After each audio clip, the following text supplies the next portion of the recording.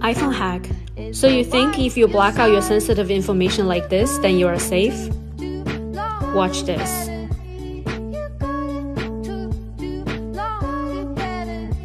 What? Follow me on Instagram for more tips.